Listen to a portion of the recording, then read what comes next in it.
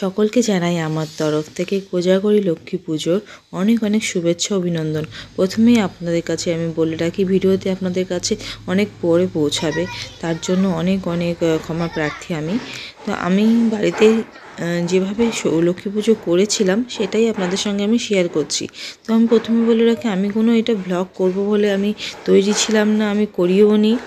তো হাজব্যান্ড যেটুকু যেটুকু ছোটো ছোটো ভিডিও তুলেছিল তার ফোনে আমি সেটা দিয়েই ভ্লগটা তৈরি করছি। আপনারা আশা করি বুঝতে পারবেন, আমি কোনোভাবেই রেডি ছিলাম না, আমাকে দেখলেই বুঝতে পারবেন। তো নিজেই পাঁচালি পরে আমি লক্ষ্মী পুজোটা করার চেষ্টা করেছি আশা করছি আপনারা বুঝতে পারছেন।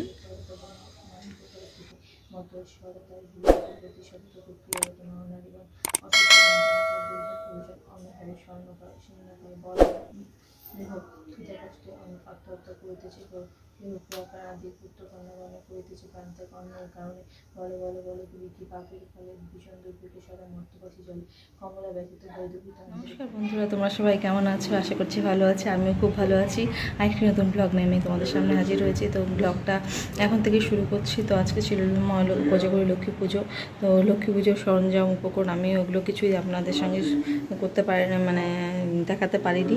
জাস্ট পুজো করেছি সেটুকু হচ্ছে ঘরে নিজেই একা পুজো করে নিলাম। কারণ একা হাতে করতে গেলে একটু কষ্টই হয়ে যায়, তো এই জন্য আমি আর ভিডিও করতে পারিনি। আর তারপর থেকে কি তারপর থেকে আমার মেয়েটারও শরীর ভালো না। কাল রাত্রে মানে কাল সকাল থেকে বমি করছে জ্বর মানে মানে কীভাবে যে আমি পুজো করেছি আমি নিজেই বলতে পারব না। যাই হোক কালকে সন্ধ্যাবেলায় গিয়ে বাজার টাজার করে নিয়ে এসে আমি কিছু ব্লগ ভিডিও করতে পারিনি। ভেবেছিলাম ভিডিও করব, করতে পারিনি, কিন্তু যাই হোক, এখন দুটো আড়াইটে বাজে, তো সবে আমার পুজো শেষ হলো। যাই না, মা আমার পুজো সন্তুষ্ট হবেন কি না আমি জানি না, কিছুই কোনো নিয়ম জানি না। ব্রাহ্মণ দিয়ে করালে আরেক রকম।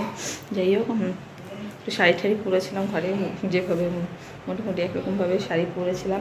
একটু আলপনাদের সাথে শেয়ার করি।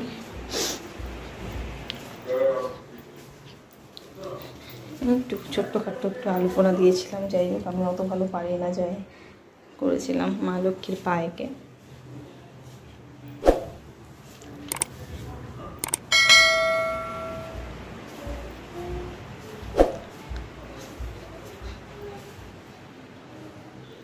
এই। তো এখন তো পুজো শেষ হলো, মেয়েটা মেয়েটা একটু একটু ঠিক আছে, তো ওকে একটু খাওয়াবো। সকালে এখন ভাত ওদের জন্য করে রেখেছিলাম, ওরা ভাত খেয়েছে। তো আমি আর কিছু খাইনি, তো এখন মা থাকুক, এখানে একটু। এখন মাকে একটু একা রাখব। আর ঘরে পুজো দিলাম, সব কিছু করলাম, এখন শেষ হলো। তো ভালো মাকে একটু আপনাদের সঙ্গে আমি ব্লগ বানাই। দেখতেই পাচ্ছেন অবস্থা কি আমি কোনো মতে রেডি হয়ে আর এই শাড়ির গল্প পরে কখনো বলব, যাই হোক। যে এটা ধোয়া ছিল, পালিশ করা ছিল, সে কারণে এটাই পরে নিয়েছি। চুলগুলোর অবস্থা অনেক খারাপ। তো এখন রাখি।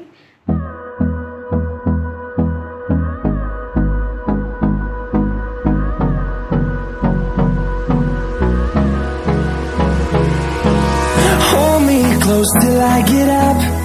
Time is barely on our side. I don't wanna waste what's left. The storms we chase are leading us And love is all we'll ever trust,